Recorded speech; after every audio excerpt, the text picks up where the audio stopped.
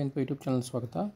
ಈ ವಿಡಿಯೋದಲ್ಲಿ ಈ ವರ್ಷ, ಅಂದರೆ ಎರಡು ಸಾವಿರದ ಇಪ್ಪತ್ತ್ಮೂರನೇ ಸಾಲಿನಲ್ಲಿ ಯಾವುದೇ ಸರ್ಕಾರಿ ಹುದ್ದೆಗಳನ್ನು ಕಾಲ್ ಮಾಡುವುದಿಲ್ಲ ಅಂತ ಒಂದು ನನ್ನ ಅನಿಸಿಕೆ, ಅದಕ್ಕೆ ಕಾರಣಗಳಿದಾವೆ.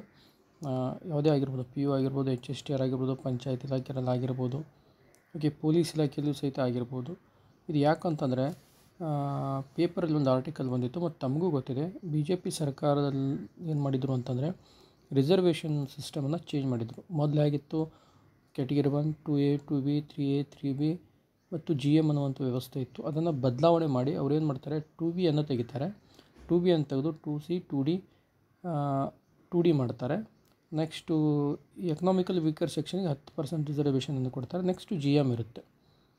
ಈ ಒಂದು ದ್ವಂದ್ವತೆಯಲ್ಲಿ ಇದು ಏನಾಗಿದೆ, ಸುಪ್ರೀಂ ಕೋರ್ಟಲ್ಲಿ ಹಿಯರಿಂಗ್ ಇದೆ. ಓಕೆ? ಸುಪ್ರೀಂ ಕೋರ್ಟಲ್ಲಿ ಇರೋದರಿಂದ ಇನ್ನು ಸುಪ್ರೀಂ ಕೋರ್ಟ್ ತೀರ್ಪು ಬರುವವರೆಗೂ ಕಾಯಬೇಕು ಅಥವಾ ಸರ್ಕಾರವೇ ಏನಾದರೂ ಒಂದು ನಿರ್ಧಾರವನ್ನು, ದೃಢ ನಿರ್ಧಾರವನ್ನು ತೆಗೆದುಕೊಳ್ಬೇಕಾಗುತ್ತೆ. ಇಲ್ಲದೇ ಇತ್ತು ಅಂತಂದರೆ ನ್ಯಾಯಾಲಯದ ತೀರ್ಪು, ಹೈಕೋರ್ಟ್ ಮತ್ತು ಸುಪ್ರೀಂ ಕೋರ್ಟ್ ನ್ಯಾಯಾಲಯದ ತೀರ್ಪು ಬರುವ ತನಕ ಯಾವುದೇ ಸರ್ಕಾರಿ ನೇಮಕಾತಿಗಳನ್ನು ಮಾಡಲಿಕ್ಕೆ ಅವಕಾಶವಿಲ್ಲ ಯಾಕಂದರೆ ಯಾವ ಯಾವ್ಯಾವ ಕ್ಯಾಟಗರಿಗೆ ಎಷ್ಟೆಷ್ಟು ಪೋಸ್ಟ್ಗಳನ್ನು ಕೊಡಬೇಕು ಅನ್ನೋದನ್ನು ಕನ್ಫ್ಯೂಷನ್ ಆಗಿರುತ್ತೆ. ಇದನ್ನೇ ಪೇಪರ್ ಆರ್ಟಿಕಲಲ್ಲಿ ಕೊಟ್ಟಿದ್ದಾರೆ. ಸರ್ಕಾರಿ ಹುದ್ದೆಗಳ ನೇಮಕಕ್ಕೆ ಮೀಸಲಾತಿ ಗೊಂದಲ ಅಂತೇಳಿ ತಮಗೆ ಇಲ್ಲಿ ಗೊತ್ತಿದೆ. ಇಲ್ಲಿ ಕೊಟ್ಟೇ ಬಿಟ್ಟಿದ್ದಾರೆ. ನೋಡ್ರಿ, ಸುಮಾರು ಎರಡೂವರೆ ಲಕ್ಷ ಹುದ್ದೆಗಳು ಖಾಲಿ ಇದ್ದಾವೆ ಅಂತೇಳಿ ಮೊನ್ನೆ ಮೊನ್ನೆಯಾದರೂ ಬಂದಿತ್ತು ಪೇ, ಪೇಪರಲ್ಲಿ. ಆದರೆ ಇವನ್ನು ತುಂಬ್ಕೋಬೇಕಾಗಿತ್ತು ಅಂತಂದರೆ ಪ್ರಾಧಿಕಾರಗಳಿದ್ದಾವಲ್ಲ ಕರ್ನಾಟಕ ಲೋಕಸೇವಾ ಆಗಿರ್ಬೋದು, ನೇಮಕ ಪ್ರಾಧಿಕಾರಕ್ಕೆ ಯಾವ ಮೀಸಲಾತಿ ಪದ್ಧತಿಯನ್ನು ಬಳಸಬೇಕು ಅನ್ನೋದು ಕನ್ಫ್ಯೂಷನಲ್ಲಿದೆ ಈಗ ಓಲ್ಡ್ ಬಳಸೋದು, ಯಾಕಂದರೆ ಹೈಕೋರ್ಟ್, ಸುಪ್ರೀಂ ಕೋರ್ಟ್ ಅದರ ಬಗ್ಗೆ ಸ್ಟೇ ಇರೋದರಿಂದ ಓಲ್ಡ್ ಬಳಸೋದು ಅಥವಾ ನ್ಯೂ ಬಳಸೋದು ಅನ್ನೋದು ಅವ್ರ ಕನ್ಫ್ಯೂಷನ್ದಲ್ಲಿದೆ ಯಾಕಂತಂದರೆ ಒಂದು ನೂರು ಪೋಸ್ಟ್ ಕಾಲ್ ಮಾಡಬೇಕಂದ್ರೂ ಸಹಿತ ಲೋಕಸೇವಾ ಆಯೋಗದಲ್ಲಿ ಅವುಗಳನ್ನು ಕ್ಯಾಟಗರಿ ವೈಸ್ ಡಿವೈಡ್ ಮಾಡಬೇಕಾಗುತ್ತೆ ಯಾವ್ಯಾವ ಕ್ಯಾಟಗರಿಗೆ ಎಷ್ಟೆಷ್ಟು ಅಂತೇಳಿ. ಹೀಗಾಗಿ ಯಾವ ಮೀಸಲಾತಿಯನ್ನು ಬಳಸಬೇಕು ಅನ್ನೋದನ್ನ ಕನ್ಫ್ಯೂಷನ್ದಲ್ಲಿದ್ದಾರೆ ಹೀಗಾಗಿ ಇಲ್ಲಿ ಕೊಟ್ಬಿಟ್ಟಿದ್ದಾರೆ ಬಿ ಜೆ ಪಿ ಸರ್ಕಾರ ಏನು ಹೊಸದಾಗಿ ಪಾಲಿಸಿ ಮಾಡಿತ್ತು, ಅಲ್ಲಿ ಮುಸ್ಲಿಮರಿಗೆ ಒ ಬಿ ಸಿ ಕೋಟಾದಡಿಯಲ್ಲಿ ನಾಲ್ಕರಷ್ಟು ಏನು ಮೀಸಲಾತಿತ್ತು ಅದನ್ನು ಕ್ಯಾನ್ಸಲ್ ಮಾಡಲಾಗಿತ್ತು. ಈಗೇನಾದರೂ ಮತ್ತೆ ಅವರಿಗೆ ಕೊಡ್ತಾರಾ ಸುಪ್ರೀಂ ಕೋರ್ಟು ಅನ್ನುವಂಥ ಕನ್ಫ್ಯೂಷನ್ದಲ್ಲಿದೆ ಹೀಗಾಗಿ ಇಲ್ಲೂ ಸಹಿತ ಇದೆ ನೋಡ್ರಿ. ಪ, ಶೇಕಡ ಆರು ಮತ್ತು ಏಳರಷ್ಟು ಪ್ರಮಾಣವನ್ನು ಸಹಿತ ಎಸ್ ಎಸ್ ಟಿವರೆಗೆ ಹೆಚ್ಚು ಮಾಡಿದರು.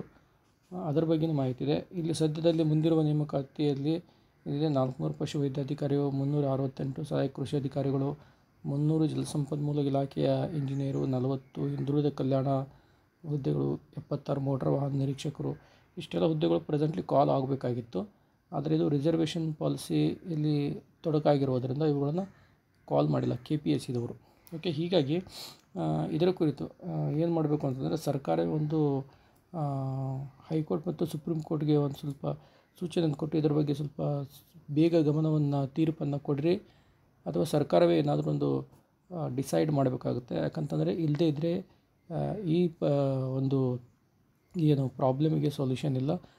ಸುಪ್ರೀಂ ಕೋರ್ಟ್ ತೀರ್ಪನ್ನು ನಾವು ನೋಡ್ತಾ ಹೋಗಬೇಕಾಗಿತ್ತು. ಹಿಂದೆ ಮೊನ್ನೆ ನಡೆದ ಹಿಜಾಬ್ ತೀರ್ಪು ಸಹಿತ ಸುಮಾರು ಎರಡು ಮೂರು ವರ್ಷದ ನಂತರ ಡಿಸೈಡ್ ಆಯಿತು. ಹೀಗಾಗಿ ಈ ಒಂದು ಸರ್ಕಾರಿ ಹುದ್ದೆಗಳ ನೇಮಕಾತಿಗೆ ಸಂಬಂಧಪಟ್ಟಂತೆ ನಾವು ಸುಪ್ರೀಂ ಕೋರ್ಟ್ ಮೇಲೆ ಡಿಪೆಂಡ್ ಆಯಿತು ಅಂತಂದರೆ ಅದು ಮತ್ತೆ ಎರಡು ಮೂರು ವರ್ಷ ಡಿಲೇ ಆಗುವಂಥ ಚಾನ್ಸ್ ಇದೆ. ಹೀಗಾಗಿ ಸರ್ಕಾರವೇ ಇದರ ಕುರಿತು ಒಂದು ದೃಢವಾದ ತೀರ್ಮಾನವನ್ನು ತಗೋಬೇಕು. ಹಳೆಯ ಒಂದು ಮೀಸಲಾತಿ ಪದ್ಧತಿಯನ್ನು ಜಾರಿಗೊಳಿಸಬೇಕು. ಮತ್ತು ಹೊಸದನ್ನು ಬ ಬಳಸಬೇಕಾಗುತ್ತೆ. ಇಲ್ಲಿ ಹೊಸದನ್ನು ಅವರು ಬಳಸೋದಿಲ್ಲ ಯಾಕಂದರೆ ಅದು ಬಿ ಜೆ ಪಿ ಮಾಡಿದಂಥ ಒಂದು ನಿಯಮವಾಗಿರೋದನ್ನು ಮುಸ್ಲಿಮರು ಹಳೆಯದನ್ನಾದರೂ ಬಳಸಬೇಕು. ಹಳೆಯದನ್ನು ಆದರೂ ಬಳಸಿದರೆ ನೇಮಕ ಪ್ರಕ್ರಿಯೆ ಸುಲಭವಾಗಿ ನಡೆಯುವಂಥ ಚಾನ್ಸಸ್ ಇದೆ. ಓಕೆ? Thank you.